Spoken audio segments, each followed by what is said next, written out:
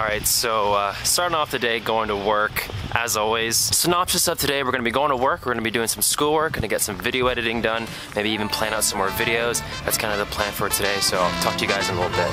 One second.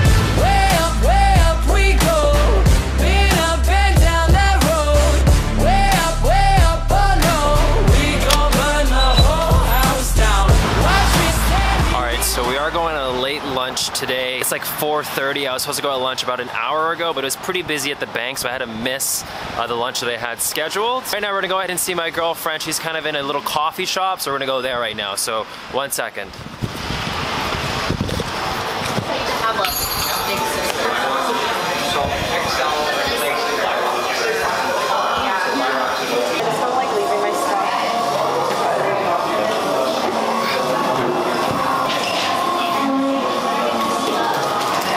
So this is some chicken wings that I'm eating right now for lunch. very good, very tasty.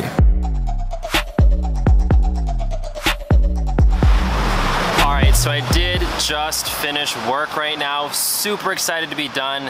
It was so busy in there, just a very busy day in the office, but that's just kind of what happens. Um, oh, someone's honking. I'm gonna go be going picking up my girlfriend now from the coffee shop, so I'll see you guys in a little We're making tacos. We have the meat right here. We have some tomatoes boiling right there. If we open this, we have some shells baking in the oven.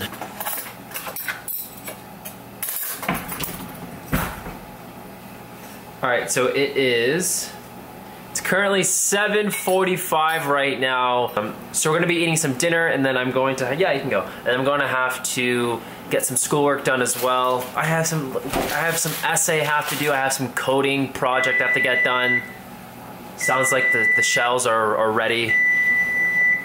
But um, really, there's just there's so much to do, so little time all the time. But something very exciting is that I will be having a week off from work. This is my second fully paid week off in like the last like 30 days, so this is it's pretty nice. I haven't taken any vacation for over like a year and a half, so it's pretty good to go on vacation. I wish I I did it more often, but doesn't that just look so good? Kind of a mess though.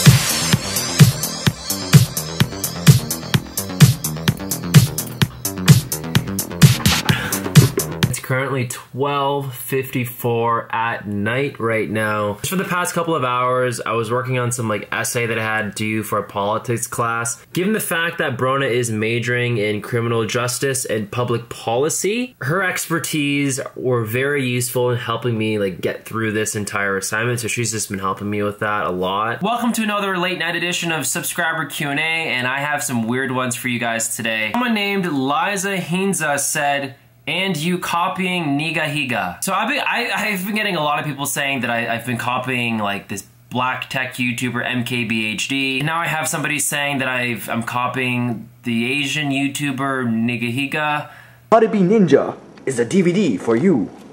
Ah. This DVD I I I just don't know where the where the comparison comes from. All right, so we got this next question from Peter Tran, and he says, "How did you discover that you're interested in economics and finance? Was becoming a financial advisor the end goal?" Or did your degree just lead you to that? This is a two-part question that requires two answers, and it's actually a pretty good one. Really, for me, how I discovered that I was really into business, economics, and finance was kind of through my failure of not enjoying computer science. All through high school, I was like, I'm gonna do computer science. And then I got to university, I didn't enjoy it, and I find that the best way to find the things that you'll love to do for the rest of your life is kind of almost being miserable doing things that you don't like. In other words, I find that when you're doing something that you don't like for a very, very long time, it's almost as if you push yourself and your mind to find something else that will make you sane and make you happy. And in economics and finance was kind of that for me. Was becoming a financial advisor the end goal, or did your degree just lead you to? To be completely honest, my degree just led me to that it has never been my end goal to just be a financial advisor. And not to throw shades at people that only want to be a financial advisor for the rest of their life. That's just not what I want to do. There's a lot of other things I want to do, and uh, the financial advisor role was kind of like that stepping stone for me uh, on to move on to bigger and, and better things. So, all right, so that's it for subscriber Q and A. Make sure to drop a like down below if you guys did enjoy this video. Subscribe if you're new. But until next time, I'll see you guys in tomorrow's vlog. Peace. Want to say bye? No. She says bye too. Peace.